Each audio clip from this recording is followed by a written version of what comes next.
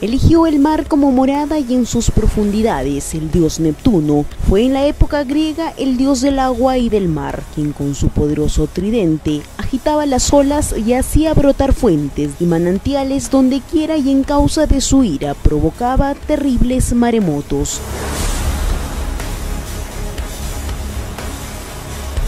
Hoy es considerado monumento histórico de nuestra ciudad. La estatua se encuentra en la Plaza España, pero por cuarta vez se burlaron de su autoridad y de lo que representaba, pues solo le quedó mirar como dos sujetos inescrupulosos, envalentonados por el alcohol, y haciendo uso de la fuerza, le arrancaban el brazo derecho con el objeto de quitarle su tridente.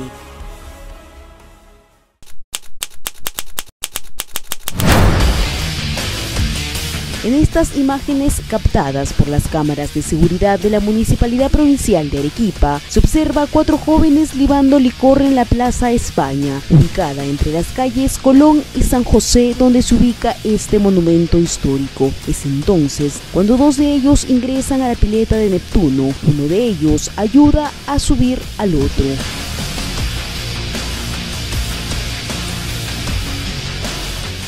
Una vez arriba, lo rodea hasta llegar al tridente. Entonces comienza a forcejear hasta doblar el brazo derecho de la estatua.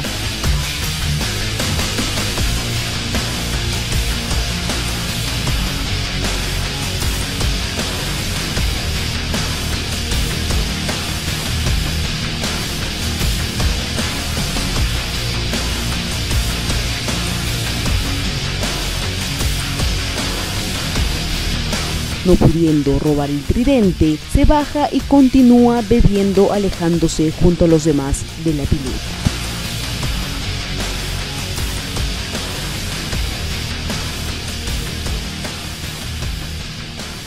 En ese preciso instante, llegan los efectivos de Serenazgo y logran capturar a los responsables, identificados como Carlos Arrori Mamani y Juan Carlos Portilla, los mismos que fueron trasladados a la comisaría de Santa Marta.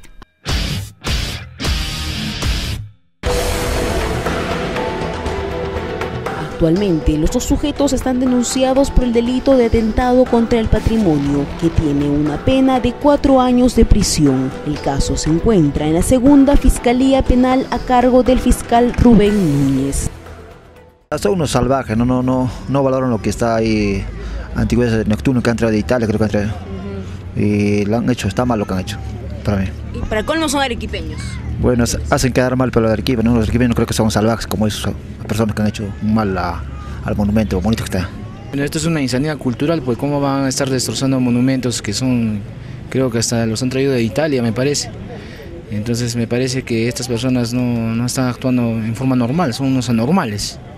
¿Usted cree que deben ser sancionados? Por supuesto que sí, es daño, daños a los monumentos por daños a los monumentos. La misma falta de conciencia de los ciudadanos, pues, o sea, no saben ni lo que ellos tienen, o sea, creo que deberían ser más, más patriotas en conservar lo, lo, que siempre hay en nuestra ciudad. Pues. ¿Y usted cree que deberían ser sancionados? Exactamente. Pues. Falta la educación, porque la cultura, porque no hay respeto, ya no hay nada, entonces a nosotros qué sería, pues nos pueden hacer cualquier, por como razón hay asesinato, hay que cuidar pues, el patrimonio de nuestro pueblo, que realmente también queremos ¿no? ver normal. Para el presidente de la Asociación de Defensa y Protección del Centro Histórico de Arequipa, los casos de atentados al patrimonio se están incrementando, especialmente por el crecimiento poblacional no de manera descontrolada, sino desordenada de los ciudadanos, debido a la falta de educación y cultura de la población. Es un problema cultural y el mecanismo es la educación si hacen las autoridades obras civiles interviniendo monumentos históricos como el caso del patio Puno. ¿Eh? Entonces, no es solo el hecho de que dos borrachitos quebraron el brazo de una escultura de mármol de Carrara que representa a un dios extraño y extranjero. No, no solo es eso. Es toda una conducta de la ciudad en que hay responsables y los primeros, pues las autoridades, que son las nuestras. Es que la forma arquitectónica del monumento y la falta de interés de las autoridades por conservarlo contribuye a que indeseables como estos jóvenes ataquen al patrimonio de la ciudad. Tal vez lo que más hieren no es al pez que lleva tomado por la cola, sino al brazo que sostiene el tridente porque esa actitud, en algunos borrachitos o vándalos, provoca que lo quiebren, que se cuelguen de él, o como se hizo hace un poco, hace pocos años, eh, por robarle el tridente, fracturaron todo el mármol. Ahora, lo que ha sucedido ahora ha sido una tentación, porque repararon tan mal el brazo original que se veía una cosa eh, extraña y mal hecha. Entonces yo imagino estos señores lo han visto así, se han sentido muy estimulados por el alcohol porque entiendo que, entiendo que estaban tomados y bueno, han atacado, algo que, que en principio tal vez lo han visto descuidado. La última vez que la estatua de Neptuno sufrió un atentado fue cuando robaron el tridente. Esta sería la cuarta vez que la dañan. Ante estos constantes atentados, el monumento no fue bien restaurado, dejándola, por decirlo así, desgastada. La reparación que hicieron del brazo cuando roban el tridente no ha sido la adecuada. Se notaba el parche que tenía, se notaba que era algo extraño, era una prótesis mal hecha. Entonces debió conservarse y nosotros tenemos a especialistas en conservación. No podemos decir que somos un pueblo que no tenemos experiencia en eso. No es cierto. Ha debido hacerse una cosa bien hecha y le aseguro que bueno se le veía con mayor respeto.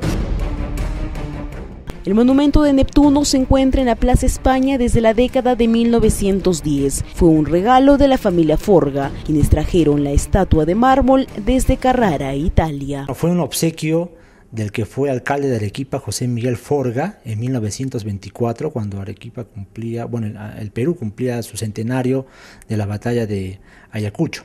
El alcalde José Miguel Forga obsequió este Neptuno justamente a la ciudad de Arequipa porque ese eh, pertenecía o formaba parte de la, de la ornamentación de, de la casa familiar de la familia Forga, pero lo obsequió a la ciudad de Arequipa con el encargo de que fuera conservado en ese mismo lugar, ¿no?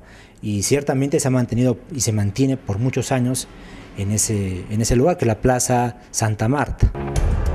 Este no sería el único caso de atentado contra el patrimonio que no solo deja entrever la falta de educación y de identidad cultural de la población, sino también la falta de conservación de parte de las autoridades, que deberían ser nuestro principal ejemplo. Hasta hace unos siete años o seis, el monumento, y que muy pocos saben su nombre, el monumento a los, a los uh, próceres arequipeños de la independencia, que queda en la placita de San Lázaro, estaba totalmente abandonado. Tuvo que salir un artículo en la revista La Ciudad denunciando esto para que el colegio de abogados, que era el que se gestionó que se pusiera ese monumento a comienzos del siglo pasado, intervenga y lo laquearon, lo limpiaron, se adornó el parque. La autoridad nos encargó del cuidado del parque. Desde la época de Cáceres se le encargó a la Michel. La Michel lo conservaba, lo tenía bien puesto el parque, pero no se conservó el monumento como debía hacerse, que es por lo menos limpiándolo.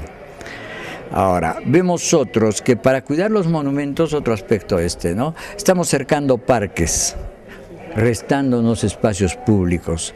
Utilizamos los términos de la represión en lugar de la educación. Dice, por ejemplo, el Parque Melgar, ¿no? Para que no haya fumones y no sé qué más. Pero eh, eh, los fumones, ¿por qué están? Porque no hay quien les diga no fumes, ¿no? O sea, no hay la guardia ahí.